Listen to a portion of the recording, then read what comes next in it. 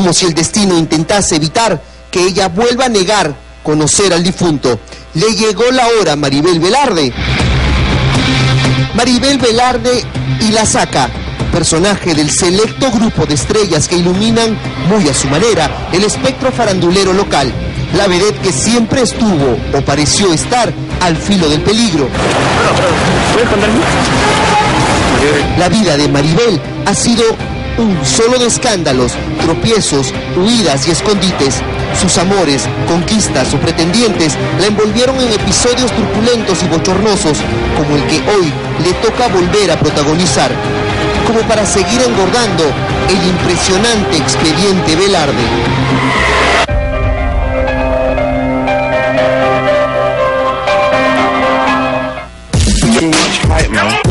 Enrique Rojas, Pinocho o Pinochín para sus amigos, habría sido la última pareja sentimental de Maribel Velarde. Mi gordo bello, tú siempre dándome cada día más bendiciones y sorpresas.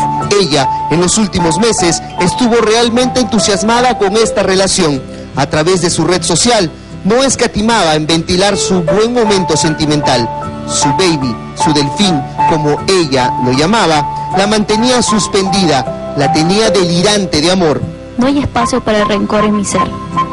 Gracias por hacer que las cosas sean como son.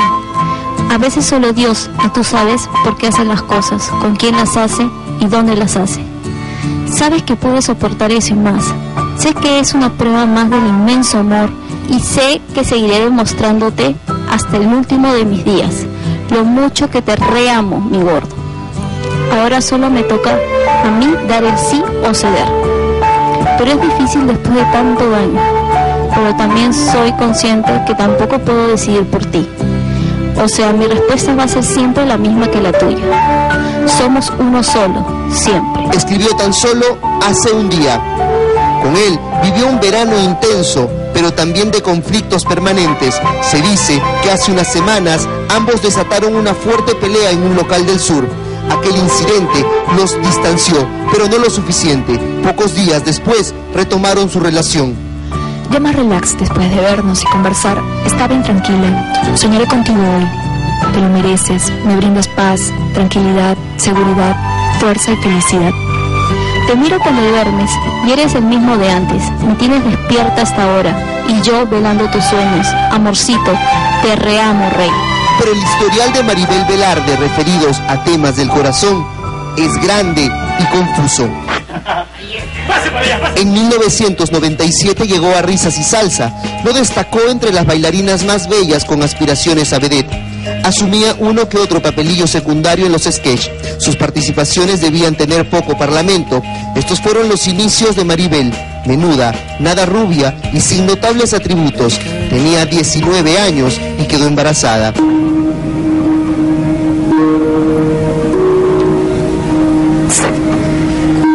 Por ejemplo, tu mamá nunca he metido a mi familia en, en las cosas que he pasado, mis problemas, siempre los he, los he solucionado públicamente. Sola. Padre de su hija, un ranqueado y prontuariado delincuente, conocido como Shakira, con varios ingresos al penal del Urigancho y con un rosario de crímenes en su haber. Él fue su primer amor. Maribel estaba decidida a escalar en el ambiente, se atrevía a desnudos, se atrevía a todo y siempre se las arreglaba para estar en las portadas y los escándalos de moda, mientras se hacía famosa por sus salidas con futbolistas como Valdir Sáenz o el caso más sonado, su relación con Juan Chiquito Flores. Si estallaban escándalos, ahí estaba Maribel Velarde, pues también formó parte del ramillete siliconeado que desfilaba por los juzgados por el millonario caso Crondur Galvez, el bancario de las vedettes. Maribel, cuéntanos un poco la diligencia. ¿Se aclararon los puntos? Yo no mire, al menos esta diligencia te servirá para que ya esclarezca tu situación y demuestres que eres eh, inocente, ¿verdad, María? Claro. Sería un, sería un buen avance el hecho de que te has confrontado ya con Cromwell. Años después, y con la caída de otro narcotraficante, Polanco, el nombre de Maribel Velarde volvió a rondar investigaciones policiales. Fotografías junto al procesado la delataban.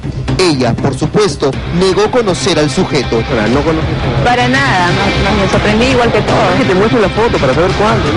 ¿no? sobre todo para conocerlo, porque en realidad no lo conozco. ¿Desconoces mayormente, como digo? Desconozco totalmente.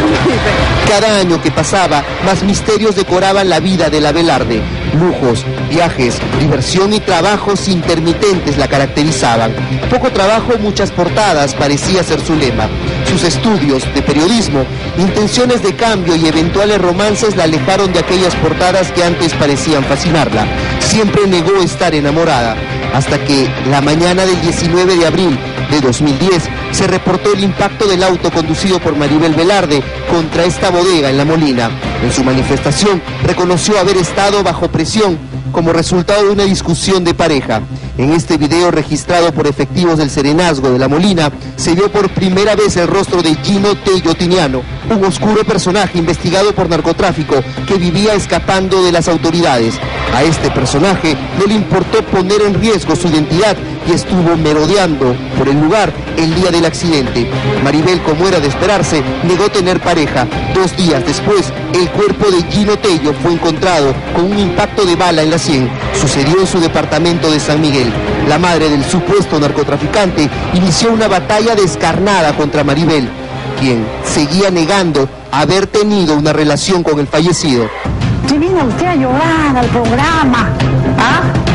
A usted le nació un hijo. A mí me mataron un hijo. Maribel no se cansaba de negar pese a la existencia de estas fotografías que inmortalizaban los momentos de dicha junto al padre de su hijo. Viajes, noches de pasión, días de placer en estas imágenes que comprobaban la relación entre ambos. Maribel en investigara nuevamente, pues se creía que ella estuvo con Tello poco antes de su muerte. Se dijo además que Maribel ocultaba dinero y bienes del tipo. Maribel salió bien librada de las pesquisas policiales, pero volvió a sus cuarteles de invierno para traer al mundo a un bebé. Consciente de todo lo que va a pasar después que, que esta entrevista se emita, van a seguir especulando y van a seguir preguntándote sobre la paternidad de tu hijo. Eso es algo que solamente lo converso con, con la persona que lo tengo de conversar, con mi familia y, mi hija. Bel parece estar condenada a episodios turbios. Hoy, el cuerpo de Jaime Rojas fue encontrado en la casa de la vedette. Con él habría iniciado una relación hace algunos meses. Fue más bien un reencuentro. Cada día que pasa me siento más cerca a ti. Sé que nuestro reencuentro va a ser más intenso y fuerte que antes. Somos uno solo como antes, hoy, mañana y siempre. Feliz porque te tengo a mi lado. Hoy me lo demostraste, me sentiste, me entendiste y nos quedamos dormiditos como antes. Ya despertamos y vamos a pasar a la playita como siempre, a relajarnos al fin. Te veo y me vuelvo a enamorar. No me canso de besarte, de mimarte, de comerte besos. Me enamoré de ti, de tus ojos, los mismos que veo ahora y que me dicen lo mismo que antes. Estamos conectados, te reamo. Tú y yo somos uno solo. En estos mensajes no había nombres ni detallaba a quién iban dedicados. Maribel se cuidaba mucho de ser fotografiada o registrada en video junto a su nuevo galán. Maribel desde esta tarde ha tenido que responder acerca de su relación con Rojas, Pinocho o Pinochín. El alud de sospechas la envuelve sin misericordia y desafortunadamente para ella las nubes grises no dejan de hacer sombra sobre su existencia.